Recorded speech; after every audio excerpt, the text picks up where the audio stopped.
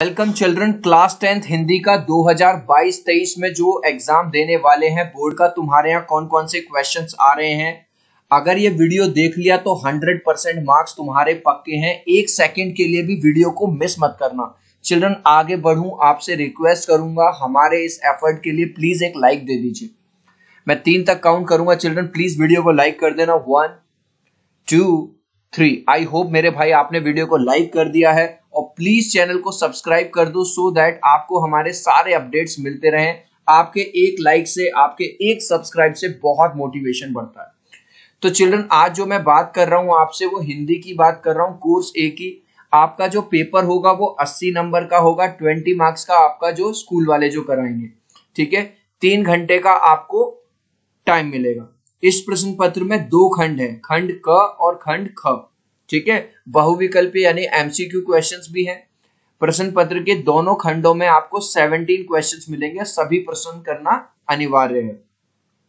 सभी प्रश्नों को उत्तर क्रमानुसार लिखिए। अगर कोशिश करना है मतलब कि पहले क्वेश्चन को ले लो, फिर दूसरे क्वेश्चन को ले लो, उस तरह से आप लिखेंगे।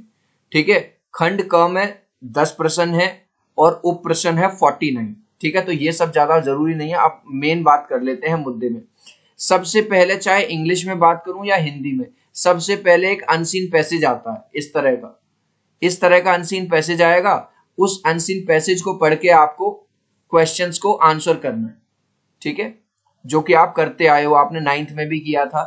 क्वेश्चन पहले एक अनसीन पैसेज आया, उसके बाद वो पढ़ के आपने, फिर उसके बाद एक पद्यांश दिया हुआ है।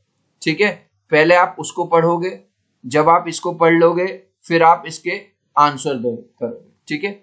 सो एमसीक्यू की फॉर्म में ये क्वेश्चंस आपको दिए गए। इसके बाद अगर मैं बात करूँ, इसके बाद आ गए हैं आपके यहाँ एमसीक्यू क्वेश्चंस ठीक है? मल्टीपल चॉइस निर्देश रचना के आधार पर, वाक्य भेद पर आधारित पाँच बहुविकल्प प्रश्नों में से किन्हीं चार के। यानी कि पाँच दिए जाएँगे पाँच में से आपको चार करना है ठीक है? तो एक एक नंबर आपको इसका मिलेगा। इसके बाद आपको आ, आया है मैच द कॉलम्स कॉलम एक को कॉलम टू के साथ सम्मिलित करिए ठीक है? ये फिफ्थ क्वेश्चन है इसी में। निर्देशानुसार वाच्य पर आधारित पाँच बहुविकल्पीय प्रश्नों में से किन्हीं चार? आप फिर से पाँच दे दिए इनमें से आपको चार क्वेश्चंस का आंसर करना है। जिन लोगों को लग रहा था एमसीक्यू क्वेश्चंस नहीं आ रहे तो चिल्ड्रन आप देख सकते हो एमसीक्यू क्वेश्चंस भर भर के आ रहे हैं और हमने अपने चैनल क्वेश्चन आंसर चैनल पे हर चैप्टर के एमसीक्यूज डाल दिए हैं। चिल्ड्रन इसके अलावा अगर आपको Hindi English math science social science हर सब्जेक्ट का सैंपल पेपर देखना है, किस तरह के क्वेश्चंस पेपर आ रहे हैं, क्या कॉम्पिटिटिव बेस्ड जो क्वेश्चंस आ रहे हैं तो उसके लिए आपको एक ऐप बता रहा हूँ। ये ऐप बिल्कुल फ्री ऑफ़ कॉस्ट है। ठीक है? प्ले स्टोर से अभी डाउनलोड कर लेना, इसका कोई पैसा नहीं लगेगा। इस पे आपको एनसीईआरटी सॉल्यूशन भी मिल जाएगा। इसका जो लिंक है वो मैंने डिस्क्रिप्शन में डाल दिया है और पिन भी कर दिया है। तो आज ही इस ऐप को डाउनलोड कर लेना। क्लास सिक्स से लेके क्लास ट्वेल्थ के बच्चों के लिए ये जो ऐप है बहुत ज़्यादा हेल्पफुल रहेगा। आगे बात करूँ तो फिर से देखो, फिर से पाँच एमसीक्यू आ गए, उसमें से चार। तो बार बार आप देख रहे हो एमसीक्यू क्वेश्चंस भरे पड़े। ठीक है? एमसीक्यू फिर आगे तो टोटल जो है ट्वेंटी एमसीक्यूज बार बार बार बार आ रहे हैं रिपीट हुए इसके बाद गद्यांश पर आधारित बहुविकल्प प्रश्न। एक गद्यांश दे दिया आपको पढ़ने के लिए, और उस गद्यांश के बाद हालदार की साहब क्या, हालदार साहब क्या सोचकर दुखी हो गए। तो इस तरह का क्वेश्चन आ गया, और उसका फिर आपको एमसीक्यू करना होगा, ठीक है? फिर निम्नलिखित पद्यांश पर आधारित बहुविकल्प। देख रहे हो आप कितने भाई साहब एमसीक्यू चले आ रहे हैं, तीस एमसीक्यू हो गए होंगे स्टार्टिंग से लेके अब तक। ठीक है? तो भैया एमसीक्यू क्वेश्चंस पे बहुत ज़्यादा इस बार फोकस करना है और क्वेश्चन आंसर पे फोकस करना है। ये दो चीज़ें।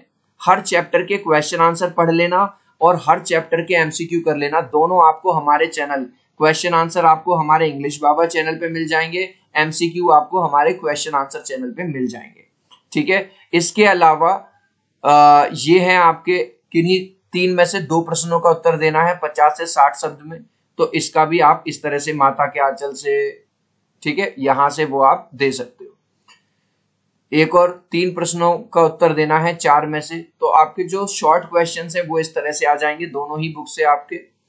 ठीक है? और इसके बाद निम्नलिखित में तीन विषयों में से किसी एक विषय पर जो लॉन्ग क्वेश्चन है, वो आपका इस तरह से आ जाएगा। तो चिल्ड्रन मैंने जो आपको ऐप बताया है, वो अभी जाओ और अभी डाउनलोड कर लो। जो ऐप का लिंक है, वो मैंने डिस्क्रिप्शन में डाल दिया है पिन भी कर दिया है। बिल्कुल फ्री ऑफ़ कॉस्ट है, आपको सारे सैंपल पेपर मिल जाएँगे। आप किसी भी क्वेश्चन का आंसर देख सकते हो और ये सब आपको मिलेगा फ्री ऑफ़ कॉस्ट मिलते हैं अगले वीडियो